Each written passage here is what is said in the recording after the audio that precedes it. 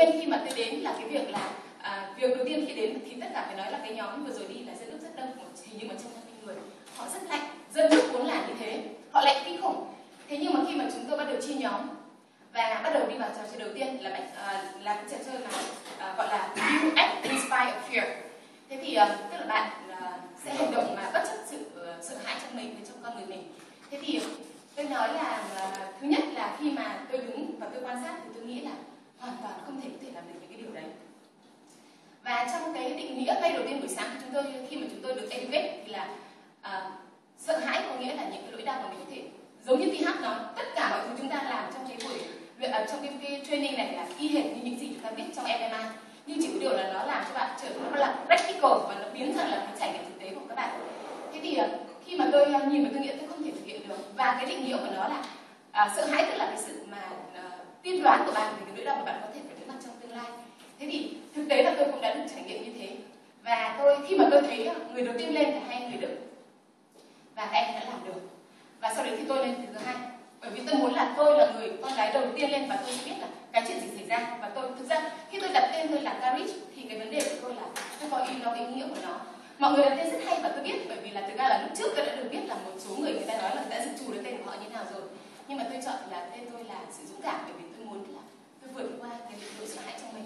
Bất luận bạn nói rằng bạn là người tự tin hay như thế nào trong đó thì somehow trong bất kỳ cái gì trong cuộc sống của bạn?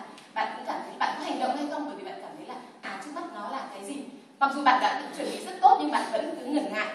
Và tôi muốn là tôi vượt qua cái tôi muốn, tức là tôi muốn khám phá con người mình. Và tôi muốn tìm, tức là tìm kiếm sự dũng cảm trong mình. Thế thì tôi lên và khi mà tôi tôi bắt đầu chia sẻ từng phần một là khi mà tôi lên thì bắt đầu tôi bước đầu tiên khi tôi thành uh, thực hiện bài tập đấy thì tôi phát hiện rằng nó hoàn toàn không như tôi tưởng tượng. Tức là nó khó rất là nhiều. Thế thì khi đấy thì tôi mà đấy là bước đầu tiên thôi. Thế thì uh, tôi mới nghĩ rằng là thế thì hãy như là bị thiết lập một cái uh, một cái business plan, plan. Khi tôi làm cái business plan tôi đánh vào mảng thị trường này thì tôi nghĩ rằng là để làm thị trường này bước đầu tiên tôi làm gì? Tôi survey. Khi tôi survey thì tôi thấy là thị trường này có tiến được uh, có đánh không? Tôi đánh thế thì trong cái mảng thị trường đấy nó sẽ có, đối tượng khách hàng là gì? Tôi đánh cái deep market mà tôi thấy có. Tức là mỗi một cái bước tôi survey là tôi như thế, tôi focus vào từng bước một. Xong bước survey đầu tiên tôi mới đến bước thứ hai, đến bước thứ ba. Xong từng bước một đến bước thứ tư thấy rằng không làm được, tôi vẫn có thể bỏ. Nhưng nói chung thì tôi focus là như vậy. Khi mà cái công việc của tôi trong cái cái cái trò chơi đầu tiên là tôi cũng vậy. Tôi bước qua từng bước bước qua từng bước. Và đến cái bước thì tôi nói là tôi cũng giống như rất nhiều người là tôi cực kỳ sợ luôn nhưng đại thể thì tôi không thì lúc đến lúc cuối cùng thì tôi rút ra cái bài học ở trong những trò chơi đấy là sự tin cậy thứ nhất là well preparation tức là chuẩn bị rất là kỹ càng tôi nghĩ rằng là cả cái trung tâm như thế người ta không phải đơn giản như lại trung tâm. Người ta chuẩn bị rất tốt. Và cái điểm thứ hai nữa là tôi focus vào cái công việc. Cái thứ ba nữa là à cái cái thứ nhất là well preparation, cái thứ hai là trust tức là cái sự tin cậy. Tôi tin hoàn toàn rằng là cái sự chuẩn bị đấy cực kỳ perfect luôn. Và tôi không chết được. Là cần focus vào việc tôi làm thế thì tôi chia sẻ với các bạn là uh, tôi chia sẻ với các bạn là trò chơi thứ nhất đã là như vậy rồi và vượt qua trò chơi thứ nhất thì tôi chia sẻ bởi vì nó rất dài cho nên tôi sẽ nhảy sang trò chơi thứ ba là trò chơi mà tôi rất tốt cũng rất tốt cho tôi mặc dù là trong bốn trò chơi ban đầu thì trò chơi thứ ba đấy tôi không tôi không làm được bởi vì là thực sự là bạn hãy thử tưởng tượng là bạn với một cái gì đấy. Nó cao quá ở cái tay mình như thế này mà tôi thể còn phải vượt qua nó. Thế thì nói thật là tôi có trên sàn nhưng tôi cũng không thể đu được lên. Thế nhưng mà tôi nói ở đây tôi đang nói là uh, khi đấy thì cái sự tin cậy đồng đội của mình một cách vô điều kiện cực kỳ quan trọng. Thời gian của tôi là có hạn tôi chỉ có lần đấy thời gian thôi. Và tôi đã được trong đầu tôi có rất nhiều phương án để tôi có thể lên được nhưng mà khi đấy có rất nhiều những comment bên dưới thì bất cứ cái comment nào mà tôi ngay lập tức tôi sẽ nghĩ rằng là sẽ thử những cái nào trước và tôi làm hết nhưng tóm lại là tôi đã fail cái bài đấy nhưng mà bài đấy theo cũng không với tôi không là gì cả bởi vì suy cho cùng tôi nghĩ rằng là nó thiết kế những cái đấy. Một vâng cái big sai hơn tôi là một. Cái điểm thứ hai nữa là tôi đã làm hết sức mình rồi và tôi làm rất tốt và tôi rất nhanh trong tất cả những cái, cái bài tập đấy. Tôi nói là ở đây tôi nghĩ là tôi over myself tức là tôi vượt qua chính bản thân mình chứ tôi không nhất định là mình phải ốp mình bằng đường trong tất cả các trò chơi. Thế thì ờ, đấy là bài thứ nhất. Bài thứ hai là về tinh thần đồng đội thì tôi cũng thấy là có một cái điểm như này. Bài thứ hai thì ờ, trong cái thứ hai của chúng tôi thì chúng tôi bắt đầu chia nhóm Chia nhóm chia thành 8 nhóm và chúng tôi thì mỗi một nhóm có hơn 4 người một nhóm tôi vì là các của chúng tôi có 350 người. Nhưng cái vấn đề thì tôi cũng nhận ra một điều như này. Nó khác khi chúng ta làm ăn với một đội nhóm, chúng ta chọn partner. Nhưng trong cái trò chơi này chúng ta hoàn toàn không được chọn partner. Và tôi nói là trong nhóm của tôi thì có chị Diễm, chị Diễm thì à, một chân đi rất khó và chị Diễm lại có cái tai nạn nữa. Mọi người giúp từ đầu đến cuối và gần như là mang chị chị à, à, từng người mang chị chị trên tay. Điểm thứ hai nữa là một người nữa thì uh, tôi đi cùng một anh và tôi nói thật tôi chia sẻ với các bạn là như thế này. Tôi uh, anh đấy chị anh ấy nặng rất ba anh, em là người đức và mọi người hãy tưởng tượng là anh cùng đi bạn đấy. Bởi vì ngay lập tức tất cả mọi người đều phát hiện rằng anh là người rất tích và sau này anh có một cái chia sẻ về cái cuộc đời của anh đấy và mình rất thương. Nhưng mà anh cũng thừa nhận rằng anh như thế chưa không chưa lập gia đình. Và anh rất tiếc để làm. Tức là anh người ta nhận ra được người ta nhưng người ta không over được người ta. Người ta không thay đổi được con người ta. Thế thì uh, bây giờ tôi nói tiếp là như thế nào? Là khi mà chúng tôi hoàn thành cái bài thì tôi nói thật là bạn hãy tự tưởng tượng là mỗi con người chỉ có khả năng chỉ có hạn thôi. Nhưng chẳng hạn như là bạn có trách nhiệm là bạn mang 20 cân trên người. Thế thì uh, anh ấy cũng có trách nhiệm như thế. Nhưng lúc sau anh đi với tôi chúng tôi được uh, phân thành từng đôi để từng người để support người kia. Và tôi nói thật với cả các bạn là không một ai nhận anh hết cả. Và anh cứ nhất định là phải đi với tôi thế thì chia sẻ là thế này chúng ta mỗi một ngày tôi go shopping rất đều tôi go shopping rất đều và tôi uh, tôi cũng đã leo rất nhiều các đỉnh núi tờ bảng ở ở thế giới Himalaya tôi chưa chạy tôi chưa leo nhưng tôi nói là tôi leo rất nhiều đỉnh rồi và tôi rất tự tin về mình tôi không hiểu tại sao một cách hết sức là là tự nhiên là anh cứ đi cùng tôi anh nhất định mà lúc ấy khi đến mọi người đã chuyển anh sang người khác nhưng anh bảo không nhất định anh đi cùng tôi thế là anh đi cùng tôi và mọi người có thử tưởng tượng là ai cũng rất là mệt nhưng anh bảo là tôi sắp chết rồi tôi không đi được lúc nào anh cũng ngồi địch dưới đất anh bảo thế cuối cùng thì ngoài cái gánh nặng trên vai tôi ôm cả gánh nặng của anh trong lòng và tôi bảo không tức là bởi vì là các bạn các bạn chỉ có việc đến thời gian. Và bạn không phải đi một mình bạn mà cả nhóm của bạn. Và nhiệm vụ của bạn cái nhóm bạn hoàn thành nhiệm vụ hay không là tất cả mọi người cùng phải làm cùng hoàn thành đúng thời hạn. Và cuối cùng thì tôi đã phải ôm cái gánh nặng đó trên tay. Thế thì à, tôi, ở đây tôi nói là ở đây là chúng ta ở trong đội nhóm mọi người không được chọn partner hoàn toàn không được chọn partner. Và từng partner một support nhau một cách vô điều kiện. Và mọi người tức là khi đến mọi người chỉ focus vào những cái cái nhiệm vụ của mình là hoàn thành thôi chứ mọi người, ví dụ như chúng ta chọn business partner, chúng ta có tin họ không? Mỗi người có một năng lực khác nhau. Và mỗi một người có một cái sự move, cái công tức là hoàn thành công việc của cái cấp độ khác nhau. Nhưng lập tức chúng ta sẽ complain complain liên tục. Như đây hoàn toàn không. Tất cả đều là không. Và có một điểm nữa mà tôi thấy rất hay. Từ xưa khi tôi rất kinh ấy, thì khi mà tôi chạy như thế này, thì bắt đầu đến gần đến đích, thì bắt đầu tôi thả lỏng tôi thả lỏng và tôi bắt đầu, để về đến đích, thì sau đích tôi bắt đầu đi đi di chuyển. Nhưng sau này khi tôi học MMA tôi chuyên hoàn toàn bao giờ tôi cũng run through the lines. Và uh, tôi nói đây là lý thuyết những cái gì mà tôi đang đang đang uh, cảm nhận và áp dụng trong cuộc đời mình nhé chưa chắc rằng là trong business mình đã làm thế. Nhưng anyway thì đối với cả uh, thực tế trong trong cuộc sống là tôi chạy qua những cái đường lại đấy. Và đối với cả cái chương trình và bài tập thứ hai cũng thế chúng tôi khi mà gần về đích có rất nhiều người kiệt sức rồi thì bắt đầu mọi người bắt đầu courage để bắt đầu họ move quick thế thì hầu hết mọi người đều chạy run through the line tức là đi trên đường à, cái đích đến. Bài số 2 thì rất hay về tinh thần đồng đội và về niềm tin sự tin cậy và tinh thần đồng đội sẽ support lẫn nhau vô điều kiện. Bài số 3 của tôi tôi nghĩ là bài số 3 và bài số 4 hay nhất là predicament và purification. Thế thì bài thứ ba tôi chia sẻ bởi vì chia sẻ rất dài mà mỗi một cái uh, tôi có rất tôi là tôi rút ra cho mình rất nhiều bài học tôi hầu hết đều áp dụng đúng cái, cái tư duy kinh doanh của tôi vào trong vào trong bài tập. Thế nhưng bài thứ ba thì tôi có một bài tập tôi chia sẻ tôi xúc động nhất và đó là tôi khóc mà nó lại không phải đúng cái cái target của của bài tập đấy là khi mà mọi người có nói là mọi người có tôi xin chia sẻ một chút là tôi xin lỗi anh sơn nhưng mà cái này thì nếu mà không nói thì không thể không thể để uh, truyền, truyền tải được cái cái nội dung mà cái message mà tôi muốn chia sẻ với các bạn ở trong cái khóa học này thì mỗi người sẽ có một bài học rất khác nhau bởi vì là các anh các anh các chị trong nhóm chia sẻ với tôi nó rất khác nhau nhưng mà tôi cảm nhận nó theo cái cách của tôi vì mỗi người cái sự cảm nhận và cái bài học nó sẽ phụ thuộc vào cái nhân sinh quan thế giới quan về tri thức và cái mức độ trưởng thành của mỗi người. Với tôi thì tôi nói là khi mà tôi học khi mà tôi um, tôi uh, như mãi là trước đây thì mà tôi um, tôi xin phép không thể cái này à, thực ra cái này nằm trong purification của tôi nhưng mà nó là cái trải nghiệm của tôi và và tôi cũng uh, nói là vượt qua thì cũng không vượt qua. Nhưng anyway thì tôi um, để, tôi cân nhắc xem là có hài lòng với mọi người hay không. Nhưng bây giờ tôi nói một cái điểm là trong cái chương trình này nó có cái phần rất hay. Tôi xin chia sẻ các bạn là uh, các bạn khi người ta nói các bạn là a là a các bạn hãy làm a bởi vì nó có lý do của nó. Tôi uh, tôi nói là lúc cuối cùng khi mà khi người ta nói các bạn là các bạn hãy nói bằng con mắt thì các bạn hãy nói bằng con mắt. Các bạn hãy nói bằng trái tim các bạn hãy nói bằng trái tim. Và tôi thề với các bạn rằng tôi thấy trái tim tôi mở ra như thế này. Các bạn có tưởng tượng trái tim tôi mở làm đôi như thế này không? Mà trái tim tôi tràn đầy tình yêu để tôi có thể cho đi và nhận lại. Cái điều đấy trước đây không bao giờ tôi có. Không bao giờ tôi có. Mà các bạn thử tưởng tượng như thế. Và tôi hạnh phúc vô cùng và mỗi khi mà buổi sáng tôi vươn tay lên như này tôi mở lồng ngực tôi ra. Để tôi để như để tôi cảm thấy như là cái trái tim tràn đầy tình yêu của tôi nó mở ra như thế này với mọi người. Tôi nói như thế các bạn có thể nghĩ rằng là nó chỉ là lý thuyết suông nhưng phải trải nghiệm mới biết thế nào là hạnh phúc. Vậy thì tôi khuyên nếu như tôi à, tôi xin góp ý các bạn rằng với những người đi sau hãy làm như vậy bởi vì tôi thấy rất nhiều lời khi nói thì người ta nói là hãy nói bằng con mắt. Thì mọi người lại nói khi thì tôi vẫn khi mà tôi tôi cúi xuống thì tôi vẫn nhìn vào mắt họ nhưng mà tôi có thể hơi cúi một chút. Nhưng nhiều người thì lại cúi sâu và tôi nói là các bạn sẽ mất cái cơ hội để tiếp xúc mắt với cả người khác. Và khi bạn nói như thế thì cái trái tim của bạn mở ra và nói với người ta rằng là xin tạm biệt nhé xin tạm biệt uh, đàn lai lạt ma. Cái đấy thì tôi tôi không nhớ là cái tiếng anh là gì nhưng mà tôi nhớ là cái tiếng anh là đàn lai lạt ma resort. Và tôi uh, và xin để lại rất nhiều kỷ niệm không bao giờ quên ở đấy thực ra nhé bạn có đặt cái bạn có nói cái điều đấy hay không ấy bạn hoàn toàn có thể control bằng ý chí.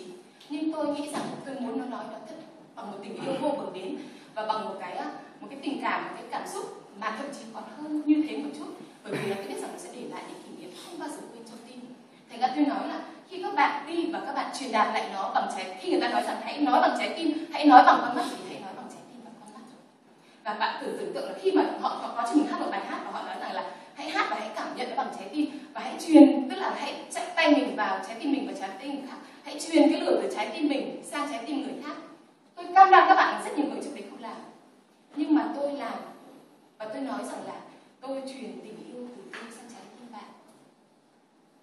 Và đấy là trải nghiệm tuyệt vời nhất của tôi luôn. Và tôi nói rằng là trước đây tôi chưa bao giờ cả nào là học về từ bi, hỷ xả, nào là học Phật pháp đủ thứ trên đời.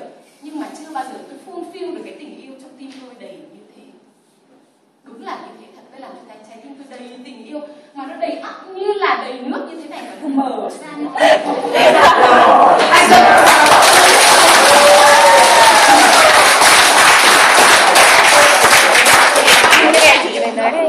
liên quan đến bài tập nhưng mà tôi lại phát hiện ra và tôi phát hiện ra mà tôi khóc như mưa. Trong bài tập thì tôi xin lỗi một chút là các bạn sẽ có một bài tập là các bạn phải đứng mở làm ra như thế này.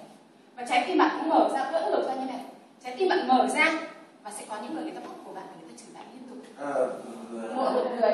tôi xin tôi chỉ xin nhận như này không tôi xin nói là mỗi người cảm nhận một bài cái một cái cái mỗi người cảm nhận cái bài tập đấy theo một cách khác nhau. Đó là một phần rất nhỏ thôi và cái này mọi người sẽ không cần phải chuẩn bị tinh thần vì nó bởi vì nó sẽ không mang lại sự surprise. Hoàn toàn không mang lại sự surprise này. Nhưng mà tôi và mọi người làm như thế với tôi à, tôi biết là bởi vì tôi nói thật như thế này. Tôi đã nói rồi, trải nghiệm của mỗi người là nhân sinh quan, thế giới quan là sự trưởng thành và tri thức của mỗi người. Cho nên mỗi người sẽ có cảm nhận khác.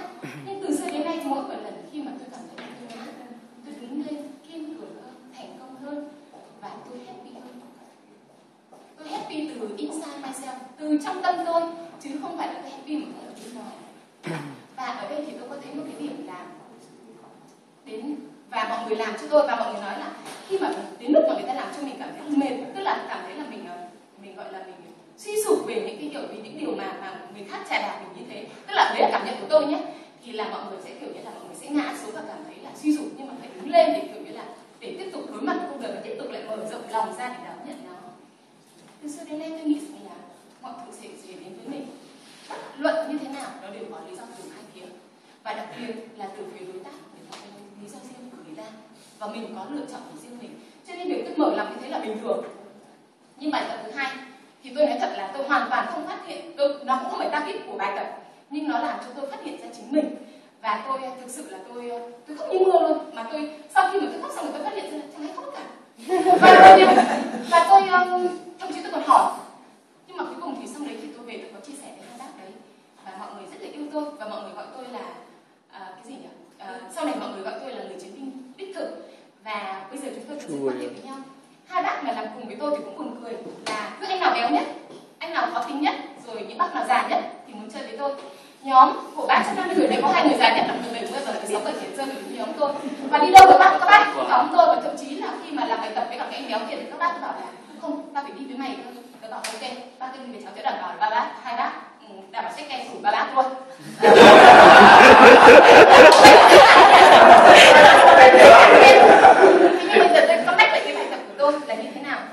Em biết được cô tôi bóc của một bác tên là Nina và tôi bắt đầu nói những điều không hay về bác đấy tôi bảo là bà là một bà già béo y mà rất là xấu xí và lúc nào thì cũng kiểu như đòi hỏi cho con cháu rất mệt mỏi và mọi người thì thực ra là rất là ghét bà đấy là tôi phải làm bài tập trước khi mà tôi, lúc mà bác làm tôi đã phải biết tôi sẽ nói gì với bác rồi vì thực ra tôi không quen như thế nhưng mà thực ra là xong sau đấy tôi dừng lại và tôi bảo cháu không thể làm được đâu bác bảo là không phải làm cái này là hãy consider nó như là một cái job một cái responsibility mà mày phải một cái duty mà mày phải complete nó thế thì uh, tôi bắt đầu nói tiếp tôi nói đến lần thứ ba đến lần thứ tư thì tôi khóc như mưa tức là tại sao có thể nói thế trước khi bác không như thế thế xong tớ bảo xong xong uh, tôi có nói là thế thì cứ coi rằng cái chốc này là cháu fail đi cháu không làm bài tập này đi xong bác bảo không mày nói tiếp thế mà tôi bác các bác ấy rất ghê bởi vì các bác ấy rất thông minh và giỏi giang các bác bắt tôi nói tiếp và tôi cứ đến khi mà tôi nói và họ bắt tôi là khóc khóc mà cả hai bác đều nói.